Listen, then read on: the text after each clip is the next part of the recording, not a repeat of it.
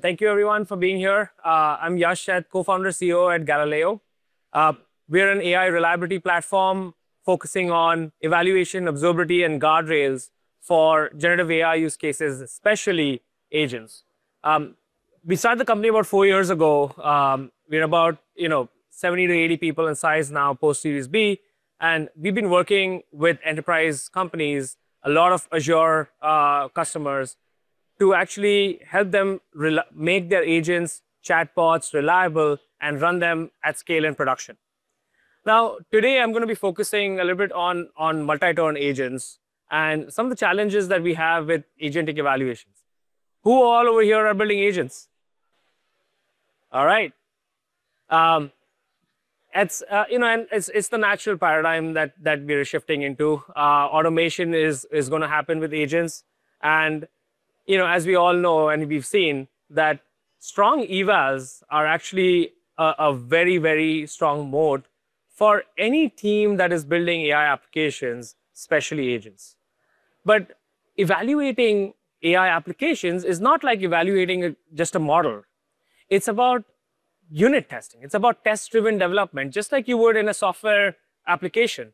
Um, and the, the, but the big challenge there is that we we can't really test our code which has LLM calls, which has tool calls, which has retrieval behind the scenes which is why eval-powered tests are, are critical.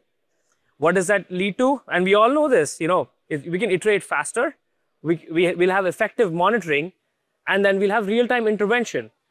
In the era of non-deterministic software, we need a way to prevent bad outcomes in production.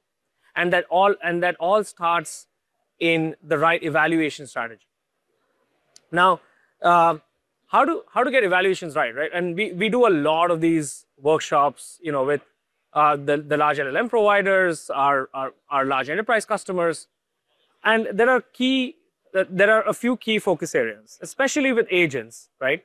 Firstly, we, we're all component, componentizing agents. You know, we're all right now learning how to build multi-agentic applications.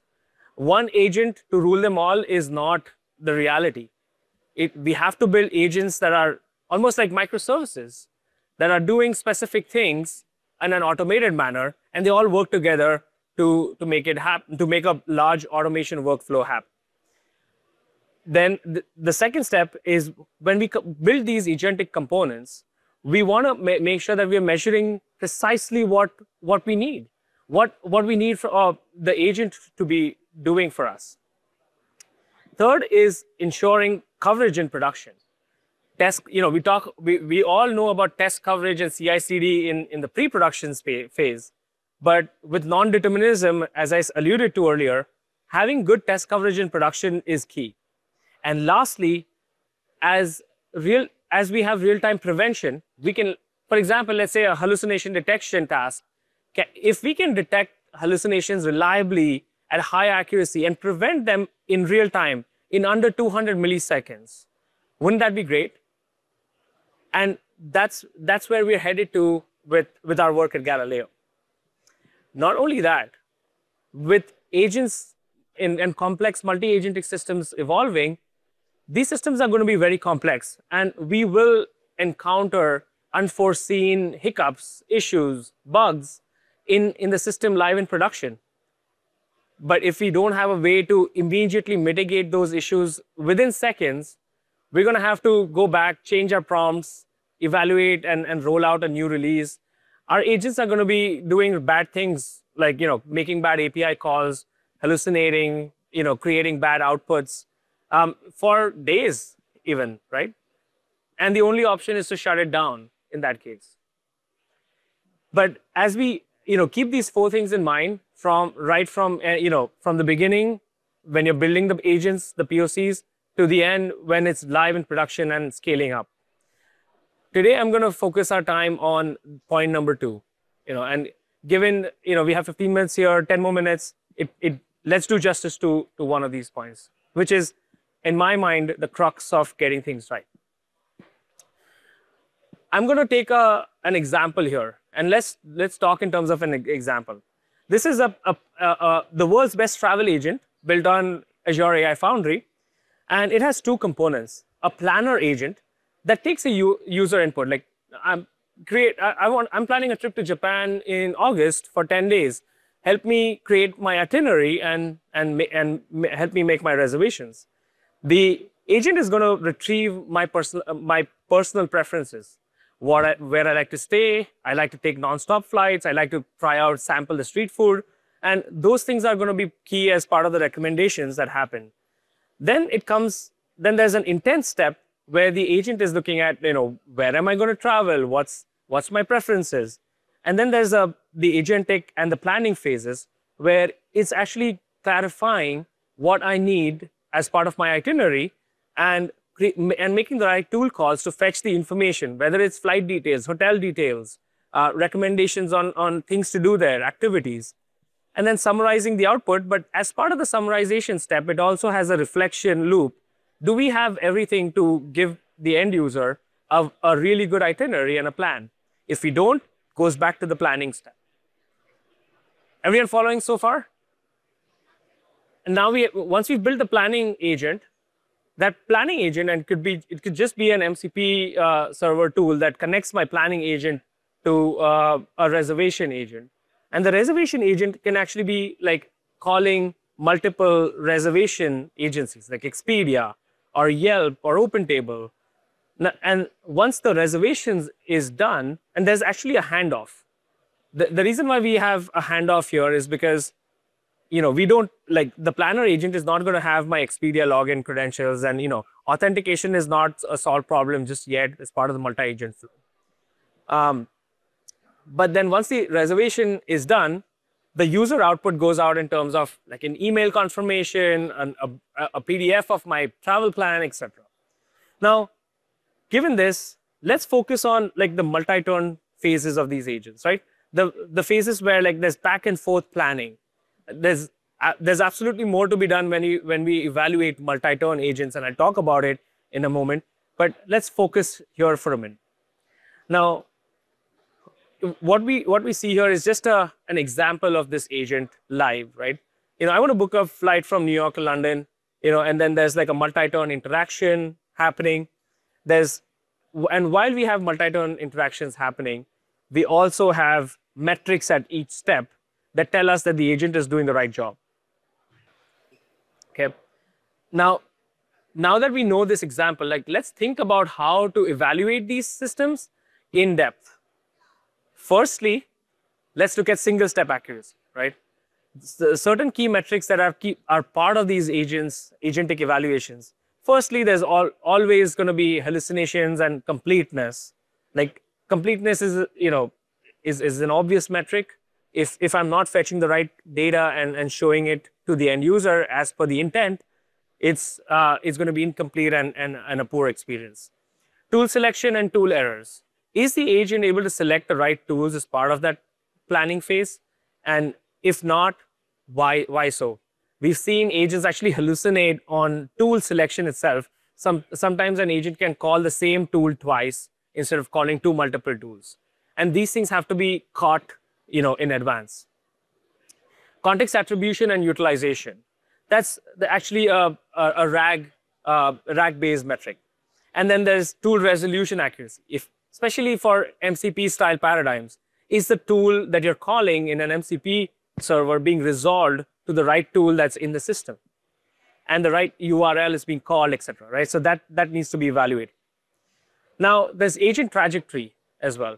The more complex your agent gets, these metrics are going to be very, very key. So when you're creating these, uh, these tests and evaluation metrics, keep these in mind. Agent flow adherence. Is the agent adhering to a, go, a good pattern or a good flow. Certain inputs and outputs warrant certain steps to be called early on. That's the expected trajectory metric. There's action advancement. In the planning stage, is the agent getting stuck in, in, in a back and forth, just asking the same random questions again and again? Or is it actually progressing towards the goal? Turn frequency. Is the agent taking 20 turns to get to my you know, planner uh, agent or, or, my planning step done? Or is it, you know, is it doing it in two, two to three steps? So turn frequency and efficiency of doing that. Topic deviation and detection. sometimes an agent might just deviate and say like, hey, by the way, in Japan, there's also these other things that you could be looking at. And like, that's, that's not what I want. It's, I, I know that maybe I don't, I don't have kids and I don't like, I wouldn't go to Disneyland there, but you know, why is it deviating from the topic? Interaction outcomes. So these are outcome-based metrics. Uh, can we have conditional rules on the final outcomes? Just, just getting an email from my reservation agent and saying my reservation is done, that's not, that's not it. For my reservation to be done, did it call the right tools and make the right calls internally? Um, what's the required order of events, stuck interactions? And I talked about that a little bit on the trajectory side, but that's also an outcome-based metric we want to measure. And workflow routing accuracy. So workflow routing is you know, based on which, which route is it taking? Is it from the planner agent? Is it going to the reservation agent? Or is it going to um, maybe you know maybe just a, a, a, another agent that it shouldn't be called. But any everyone following so far?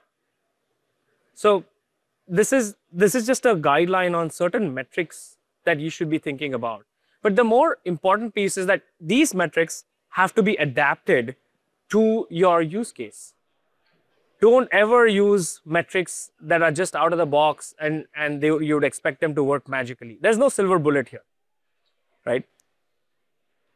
Another thing to keep in mind is as you start building these, make sure they're part of an effective CI CD pipeline. I've heard so many times from startups and from enterprises that we launched something that was agentic and in a month we had to roll it back because there's some new feature that, it, that we are building and it caused other instructions and other steps to regress. But if there's no strong CI CD in your agents, it's, it's going to be brittle. Third thing is real-time enforcement. And as, as our agents start making real-world changes for us, actually making reservations, changing backend databases, ticketing systems, real-time enforcement is absolutely critical. And I talked about that a little bit. But think about all of these tests that you have you know, in your CI/CD. If you can, and, and they're LLM as a judge. But what we've done at Galileo is that we have built Luna evaluation models that can take any LLM as a judge metric and turn it into a guardrail that can run in under 200 milliseconds, right? That's, that's actually going to be more and more important coming uh, in the coming future. And multi-agent evaluations, you know, I, I, talked about that single agent flow, but there are multi-agentic in interactions. Did the handoff happen correctly? Um, think about how you're going to even start tracing these things. And at Galileo, we've actually built an agent reliability platform that can have distributed tracing capabilities of different agents collected all in one big graph. And not only that, we can look at analyze the entire graph and, and give suggestions on and insights on where things are going wrong. So that being said, you know, all of this stuff is actually going to be critical as you start building one agent and evals for those agents, then they can be actually combined into a multi-agentic flow as well. Um, on top of this, we we also are looking into automatic suggestions and metrics, etc., to bolster your multi-agentic flow. With that, I know we we have a minute left, but I always love it when it's interactive. So we'll op open it up for uh, for any questions. If you if you if you're interested in this topic, we're deeply thinking about this. Our ML research teams are hard at work solving these, these big challenges for the agentic future.